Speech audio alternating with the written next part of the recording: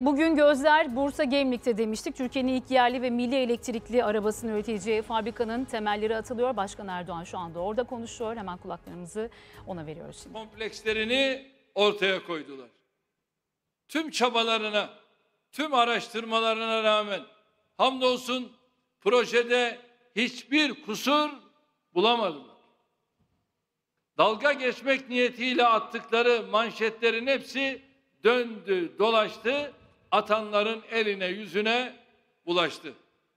70'ten 7'ye veya 7'den 70'e 83 milyonun tamamı genci yaşlısıyla milletimizin her bir ferdi ülkemizin gücünü ve üretim kapasitesini temsil eden bu projeyi sahiplendi. Yıllardır içeriden ve dışarıdan sabotajlara maruz kalmış bir hayalin gerçeğe dönüşmesi karşısında milyonlarca yürek yeniden heyecana kapıldı. Biz de milletimizin bu beklentilerini boşa çıkarmamak için koronavirüs salgınına rağmen gece gündüz demeden çalıştık, çabaladık. Tüm dünyanın yatırımlarını durdurduğu veya askıya aldığı bir dönemde Türkiye olarak sağlıktan ulaşıma, tarımdan sanayi, enerji, çevreye kadar her alanda projelerimize hız verdi. Salgın döneminde hizmete aldığımız hastaneler, barajlar, sulama tesisleri, millet bahçeleri, ulaşım yatırımları, eser ve hizmet siyasetimizin yeni nişaneleri olarak ülkemizin dört bir yanında yükselmiştir. Bugün hep birlikte temelini attığımız, biraz sonra gerçekleştireceğimiz Türkiye'nin otomobili fabrikası ise işte bu yatırım zincirimizin altın halkasıdır. Bugün burada sadece yeni bir yatırıma başlamanın sevincini değil, salgına rağmen devasa bir projeyi hayata geçirmenin haklı gururunu yaşıyoruz. Otomobili tanıttığımızda bunlar nerede üretilecek diye soranlara daha tasarım aşamasında bu güzel eseri öldürmeye çalışanlara hep birlikte en güzel cevabı veriyoruz. Tabii burada bir hususun altını çizmemiz gerekiyor. Bugün inşaatına başlayacağımız sadece bir fabrika değildir. Burası insanların zihnindeki fabrika algısını kökten değiştirecek, içinde farklı tesislerinin olduğu devasa bir üretim kompleksidir. Milli otomobillerimizin üretim öncesinden üretim sonrasına kadar ki tüm süreçlerini buradan idare edeceğiz. Yani TOK tarafından üretilecek tüm otomobillerin argesi ve tasarımı burada yapılacak. Seri üretime yine burada geçilecek. Test ve müşteri deneyim parkıyla fabrikamız doğrudan vatandaşlarımıza hizmet verecek. Çocuklar ve gençler yeni teknolojilerle burada tanışacak. Tüm bunları yaparken çevre hassasiyetimizi de en üst düzeyde tutuyoruz.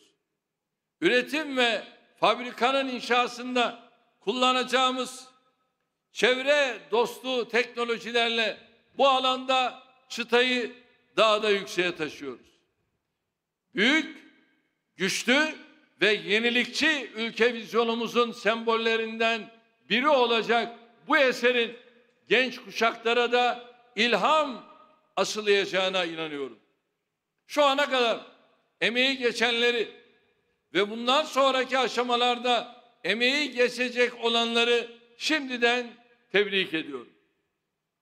Kıymetli misafirler, dünyada bütün başarıların arkasında azim, cesaret ve mücadele vardır. Unutmayalım, başarıya giden yol çoğu zaman engellerle, mayınlarla, sabotajlarla, hatta ihanetlerle doludur. Türkiye'nin bir asra yaklaşan kalkınma mücadelesinde bunların hepsi fazlasıyla yaşanmıştır.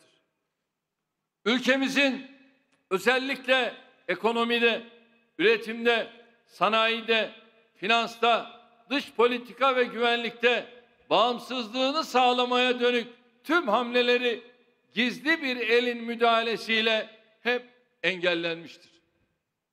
Nuri Demirağ'ın uçak fabrikası, Nuri Killigil'in modern silah ve cephane fabrikası, merhum Erbakan hocamızın gümüş motor projesi birileri tarafından hep sabote edilmiştir. Otomotiv sanayinde ülkemizin önünde yeni bir yol açacak devrim otomobili girişimi de son derece basit sebeplerle rafa kaldırılmıştır. Rahmetli Erbakan hocamızın ifadesiyle Türkiye'nin şeftali yerine motor üretmek istemesi daima birilerini endişelendirmiştir.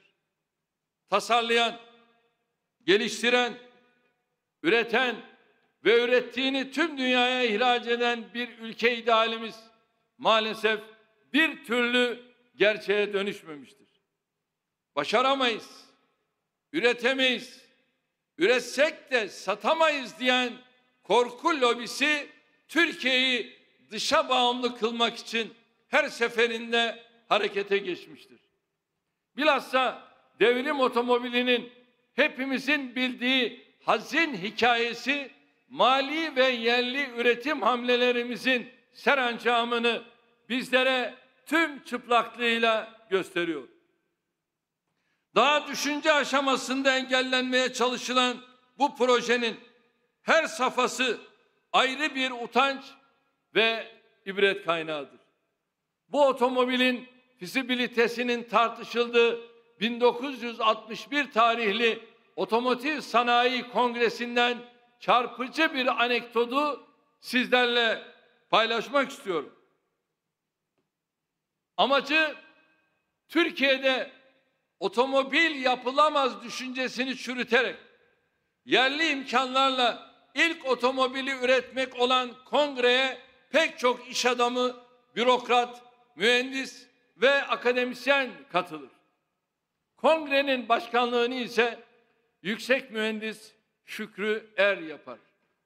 Şükrü Er karşılaştığı zorlukları adeta feryat edercesine şu şekilde anlatıyor.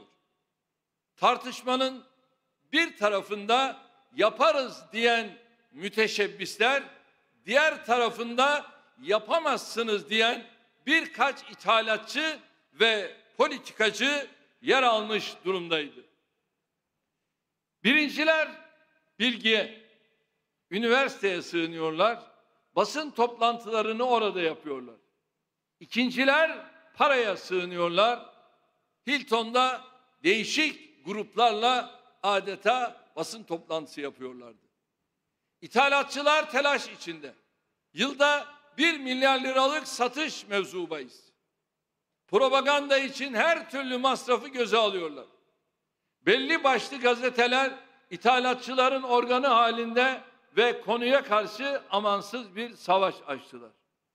Şükrü Er'in dediği gibi devrim arabaları en başından itibaren öksüz kalmış, basın, bürokrasi ve siyasette güçlü uzantıları olan ithalatçı lobi tarafından basit gerekçelerle devre dışı bırakılmıştır.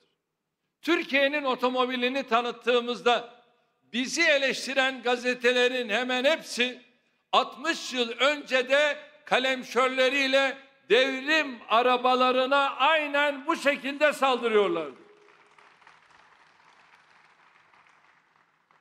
Değerli kardeşlerim, bu iftira furyasının o zamanlar başını çekenler tıpkı bugün olduğu gibi yine CHP medyası olmuştur.